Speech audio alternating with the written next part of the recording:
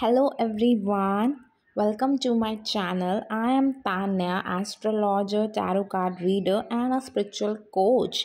Do subscribe my channel if you are interested in the fields of occult and spirituality.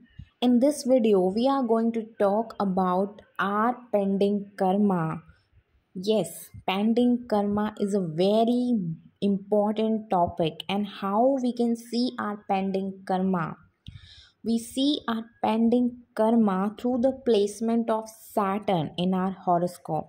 So जहाँ पर भी आपका Saturn placed होता है हम उस हाउस से देखते हैं कि what's your pending karma and what you have to do in this life to repay those debts As you all know, Saturn is the Karka of justice, law, and order, and no one no one can escape from Saturn, so you have to pay these debts.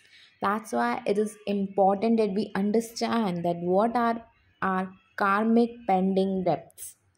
So let's start. If Saturn is placed in your first house, irrespective of the Rashi, is it कोई भी राशि में है but अगर Satan Shani Dev पहले भाव में है फ़र्स्ट हाउस में है तो first house is your physical self. So in the past life you have ignored your own self. You have ignored your own personality. Now you have to repay this debt to your own self.